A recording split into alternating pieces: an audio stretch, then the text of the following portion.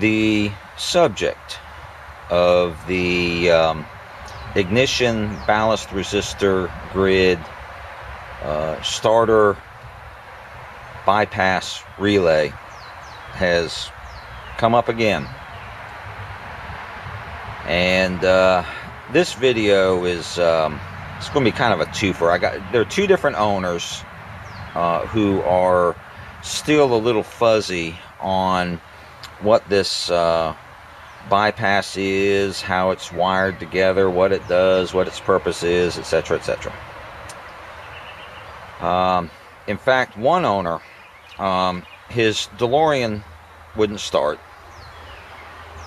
and uh, the default reaction whenever that happens is everybody says, "Ah, there's something wrong with fuel," and they start going down the uh, fuel supply rabbit hole. Um, I had the temerity to suggest ignition, and sure enough, um, he was monkeying with. There's ordinarily a light switch right in this general area that operates the uh, engine compartment light. Um, I don't have an engine compartment light, so I don't have the switch. But he was monkeying with that switch, and then all of a sudden, the engine started.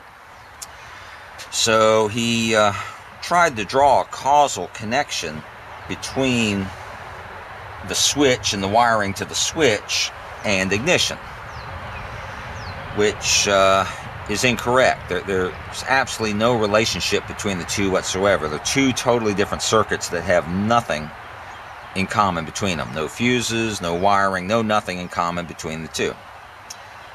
Um, I suspect what happened was while he was monkeying with the switch, which is right here, he ended up bonking this terminal here, which is part of the ignition circuit.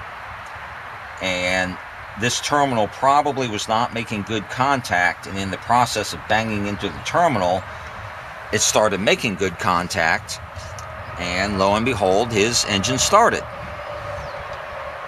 Um, which means that as soon as this terminal stops making good contact, his engine won't start again. So he does need to investigate what's going on with this terminal, uh, which brings us to the subject of today's video, which is, you know, what is all this bypass here and what is it doing? So, um, as I've said in other videos, the way the ignition circuit works, the factory ignition circuit works, the white wire that goes into the ballast resistor grid, this white wire is somewhere between um, battery voltage and charging system voltage. Okay. And the factory ignition system is not designed to operate at those voltages. It's designed to operate closer to 6 volts. So to get this voltage down to 6 volts, they run it through this resistor grid. These two resistors here. And what that does is the battery to charging system voltage that goes into the resistor grid, by the time it leaves the resistor grid, has been reduced to somewhere between 6 and 8 volts, which then goes over to the ignition coil.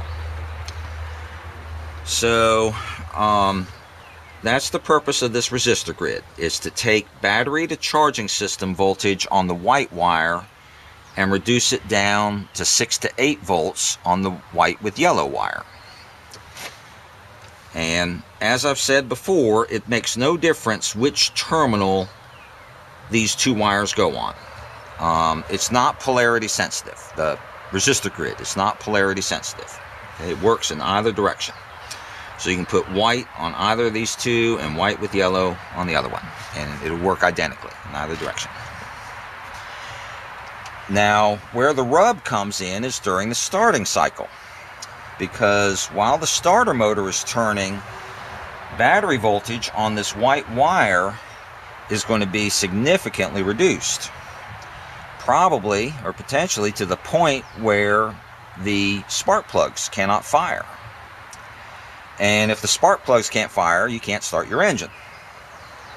So what you have to do is take one of these two ballast resistors out of the equation. So you only have one ballast resistor that is active during the starting cycle.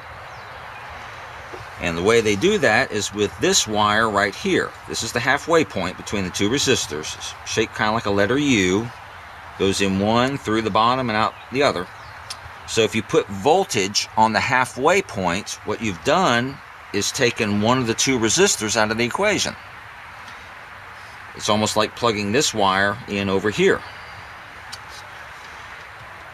Now, the factory wiring diagram, the official DeLorean factory wiring diagram, like uh, what's in the workshop manual, shows this wire here, blue with yellow, being connected directly to the starter motor solenoid.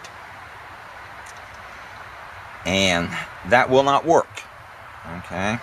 If you connect this wire directly to the starter motor, like it is on the wiring diagram, what will happen is whenever there's voltage on this white wire, it'll run through this blue with yellow wire down to the starter motor and engage the starter motor, engage the solenoid and cause the starter motor to spin. Which means that whenever ignition was on, your starter motor would be spinning.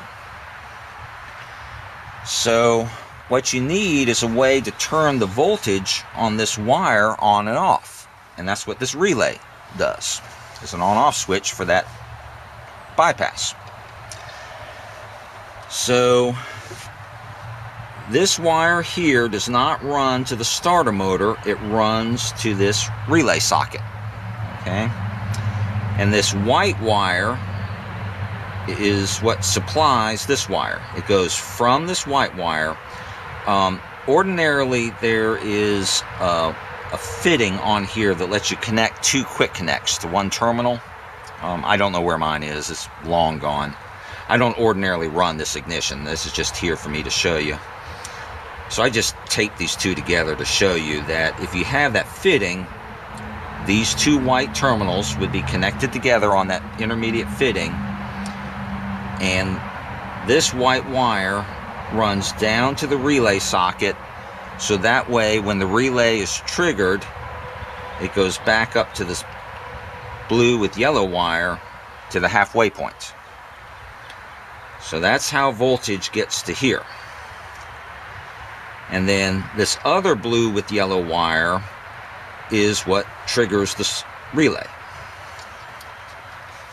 This goes down, this is what is connected to the solenoid on the um, starter motor. Is this, they're two blue with yellows. And the way you keep from mixing them up, this blue with yellow has a male quick connect okay? So there's no way that you could connect this one to this terminal if you wanted to because it would be male to male. And this blue with yellow has a female quick connect.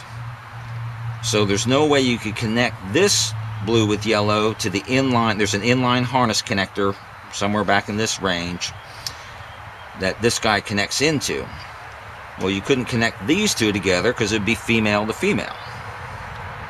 So that's how you keep from mixing the two blue with yellows up. The female goes on here, the male goes to the inline harness connector. And then the fourth wire is a ground.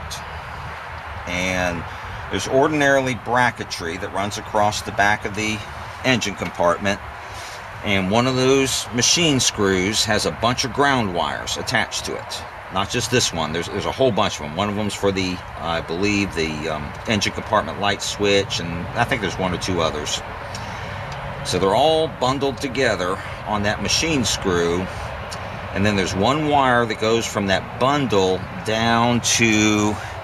It's either the intake manifold or the valve cover. I can't remember which. Um, but that's how it is then connected to the engine block ground, which is connected to chassis ground. So, the purpose of this relay, which uh, is ordinarily attached to this bracketry that runs across the back, I've just stuck it on, on here temporarily because I don't run it. But if you've got the factory setup, you're going to have a place to permanently attach the socket. There's going to be four wires coming off the socket. One of them is white, which is ganged with the other white. One of them is blue with yellow. It's the only blue with yellow that has a female quick connect. That goes to the halfway point on your resistor grid. You've got the other blue with yellow.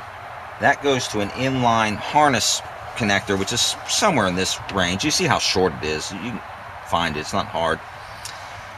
And then the fourth wire is the ground, which goes to a bundle of ground wires somewhere in this general vicinity, and then over to the engine block. So that is how the bypass is wired and that is its purpose is to put voltage at the halfway point on the resistor grid during the starting cycle because if you don't have that voltage at the halfway point it is indeed possible that your engine will not start. And you've got to have the relay because you cannot attach this wire directly to the starter motor. The wire has to go through an on-off switch of some sort and that's what the relay is. The relay is your on-off switch